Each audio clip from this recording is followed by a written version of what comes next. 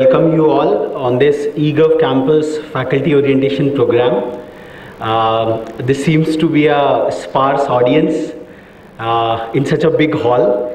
Uh, actually, uh, uh, today is a very significant occasion for us. Uh, today we are felicitating some of the best engineering marvels of India across public sector and private sector in the post-lunch session where the most eminent organizations of India who have produced engineering marvels in 25 different sectors are being recognized. Uh, so we just felt like using this opportunity to further encourage the campuses who have taken a major lead in uh, implementing the eGov campus program at their campuses. Uh, so from the UN Public Service Day when we initiated the entire uh, process on 23rd of June uh, this year to UN Day today, uh, today happens to be the United Nations Day incidentally. So in these 48 weeks, I think a lot of ground has been covered. Uh, we recognize somewhere to the tune of 77 campuses from across the country as eGov campuses and uh, the kind of overwhelming response we have been receiving since then in these last 48 weeks has been uh, really encouraging and uh, uh guiding the course of action in the right direction.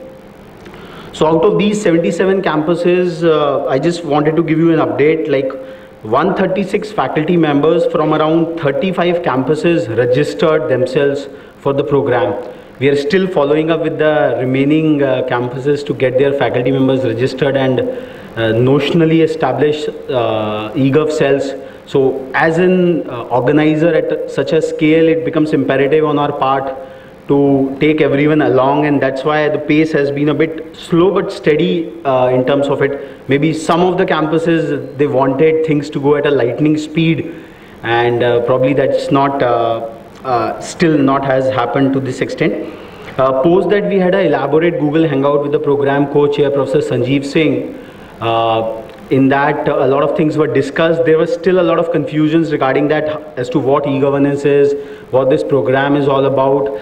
Uh, even though the communications from our side had been quite uh, clear, but obviously emails are not that, I will say, uh, it, it eventually requires a one-on-one -on -one interaction. So we will be having a lot of one-on-one -on -one interaction uh, this morning and uh, we will be taking things forward. So uh, in that uh, Google Hangout, uh, thought was mooted by Professor Sanjeev Singh ki let's evaluate the understanding of the campuses pertaining to the governance per se in the framework of their institutions. See, what happens is ki we can all dream and think about building up a uh, top-notch application from day zero, but uh, probably it might not so happen uh, understanding that. So in that Google Hangout, he then uh, somewhere requested, which was, uh, I think, missed by some and picked by all, was ki to submit a state of eGov at the campus, like how the governance is functioning within an institutional framework. So we received 24 such entries uh, from the 77 campuses which were participants of this program. And uh, out of these 24 reports uh, which are with me here, uh, quite elaborate reports. We had a detailed uh, meeting with the program chair and co-chair for evaluating this. And the best five uh, such reports would be acknowledged uh, this evening uh, at the Engineering Excellence Award ceremony. So the suspense will be continuing like who all have won, the public declaration will come along with that. But it is highly encouraging. I would say that uh, Professor Sanjeev Singh was overwhelmed when he witnessed these reports. Is it is it he was a skeptic when he accepted uh, as the program co-chair of this program ki bhai can the campuses in this sector can are they really doing something worthwhile these are the kind of skepticisms we are facing day in and day out from the top policy makers and policy regulators because the mainstream media has somehow picked up the three rankings international rankings and just saying that quality is just not there in this country. In fact engineering watch uh, in all its humility we are working with the institute of informatics communications uh, university of delhi to create the first of its kind uh, indian ranking. Uh, it's still in the inception stage but parameters कि भाई चार घंटे बत्ती आती है आपके गाँव में, देहात में, उसके बाद भी you are producing engineers you don't have that kind of capital influxes you don't have that kind of budgetary support you don't have that kind of I would say all the other faculty members the kind of pay skills which the professor really get in the top notch institutions and still we are at least bringing out some talent some engineering talent for running this country so we are trying to factor in some of the indigenous parameters, some of the constraints which Southeast Asian countries or the emerging countries for that matter are having. And maybe the top three rankings uh, about which the Honorable President is really very much concerned. Wherever he goes uh, in all the academic functions, he talks about that quality is not just there. Because this is the kind of perceptions the top policymakers get out of it. But looking at the kind of reports, the 24 state of eGov at campus reports which we have received it's really very, very encouraging, the kind of work which some of the campuses has done. It's mind-blowing. And uh, the, uh, the officials in the various ministries and department, Dr. Rajan Kumar for that matter specifically, they are highly encouraged. And uh, now they have the trust ki bhai, what you had envisaged and initiated, we have a proof of the concept. Uh, just addressing that there are 77 eGov campuses on the basis of some IT infrastructure or the faculty candidness, but the work shows it all. So now in all uh, enthusiasm and in all uh, commitment, because obviously working with the government and working things take a bit of time. So I think this uh, report has been a great, good exercise and uh, I would be requesting some of these uh, submitters to come and uh, discuss with all and share their understandings and experiences regarding that. So from the very start, we had felt that for an E, in the e-governance, there are 10 letters of governance. So for a letter 1E, there are 10 letters of governance. So it is very, very important to understand the governance framework. Like in the software uh, life cycle model, we see that the SRS part or the designing part carries the maximum time. So uh, this emphasis was very, very important. And in fact, very many campuses uh, quite a significant of them were quite varied कि भैया बेकार मतलब what are you talking about uh, why are you not giving us an Aadhaar a deduplication kind of a algorithmic project to us from the day zero we said sir you are very much welcome to take such projects on your own because you are high on the evolutionary curve but in order to carry forward such a program of such a magnitude and showcase to the policymakers to a certain extent that yes these campuses can make it happen we have to go at a lowest common minimum program at a lowest common denominator and uh, and we have to first of all impress upon the fact as to what challenges of governance are all about. Because governance is all happening on people on the various stakeholders and the challenges of governance it's not just an IT project per se. It's a whole deployment it's a whole uh, I will say it's a whole ecosystem which has to be developed a whole mindset which has to be evolved around it. So probably that had been the singular uh, parameter as to why we have been uh, stretching the governance part of it even further before taking up the E part of it because we felt coding or building an application is just a very, very small part of it. So sometimes we find that basics do get lost. Like uh, I, I, remember a classic example right from my JEE days when I was preparing for the IIT entrance examinations. We used to be asked, what is a circle? Define a circle so now we have at least five to six uh, representations of a circle.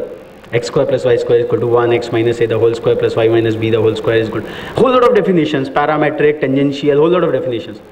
But eventually what was emphasized upon by our tutors, by our teachers at that point of time, that circle is nothing. There is just one definition of circle, which is the circle is the locus of a point which moves at a fixed distance from a fixed point. Now you can derive n number of definitions out of it. Then another revelation came when we were studying graph, graphs and the algorithms and abstract data structures. Now, even after the whole classes and semesters, when we were asked in our comprehensive viva voce, what is a graph? So most of us started drawing circles and edges and things like that. So professor said, fail. You can't be given a, that was a jocular aspect which we all do in our campuses. So it's a simple, it's an abstract data structure which uh, finite set of ordered pairs between edges and uh, there are nodes and there are vertices and there is a mathematical representation of order uh, e comma v so these are some of the basics probably which we had been trying upon uh, to emphasize upon, I would like to welcome uh, Mr. D, uh, DC Sharma sir, DC Mishra sir. He is the Deputy Director General at NIC and looking after the Panchayati Raj deployment of uh, all the e-governance projects at NIC. And sir has been an eminent votary of the entire eGov campus concept because he feels that the innate potential, the innate, uh, uh, I will say, the dormant energies of the students and the faculty members at large, the 4 lakh uh, computer science students uh, per year which are entering, they, it can be unleashed with these e-governance projects. So I welcome you, sir.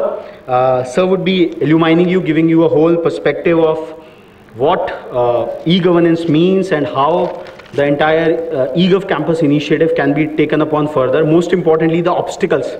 We at times uh, are excited by the opportunities and fascinations of things, but when you pick up something, building up something, uh, the challenges and the obstacles, going to a local unit, a department or collecting the finite data, because sometimes we feel that uh, data acquisition is something, uh, it's not that order of a job, but probably this is something which Google and the best IT organizations of this world have been doing for decades continuously. And on top of it, they have been able to make such fantastic applications. So we've faced a lot of disgust and disgruntlement from uh, uh, from this over and overt emphasis on the core fundamental uh, of governance in this e-governance program. Uh, uh, because we had been saying that uh, you have to submit this report, many of the campuses could not understand uh, the implications of it. And a significant chunk of the campuses couldn't decipher the implicit intention behind this. Uh, for them, eGov uh, came as some new age, highly complex, high-end computer science problem, which just needs a high order algorithmic approach. But probably this is not so. I think Mishra sir will explain it further.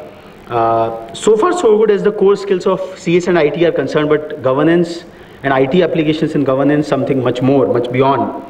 So, and for some campuses, we had been receiving the constant calls regarding getting some run-of-the-mill kind of uh, project definitions so that uh, they can focus their projects and implement it and get something out of it.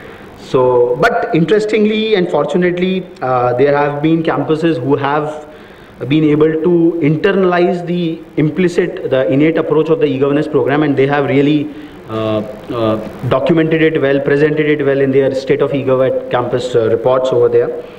So uh, I would, uh, without losing any further time, uh, I would like to request Mr. DC Sharma sir, Mishra sir, to please give his inaugural address, his keynote address regarding as to what e-governance is, what opportunities and what possibilities it presents uh, to the CS and IT departments in particular spread across the country where the industrial uh, clustering is not so much and where the real life problems, the real life challenges are there uh, onto which some uh, usable applications can be developed and deployed.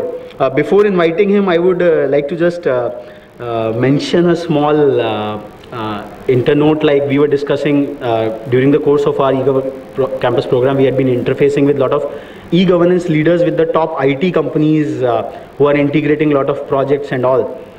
So almost all of them there was a silent consternation bhai you are creating competitors for us. We were appalled and astonished ki how can the campuses become your competitors बोले, भाई after all we get the students from these colleges only it just a matter of process and discipline and then only we deploy these guys on our projects so if these campus start somehow the other if some imaginative professor from one of the campus ईग of sales start saying मैं भी tender भर देता हूँ local area के audit के assessment के, बहुत सारे प्रोजेक्ट्स हैं.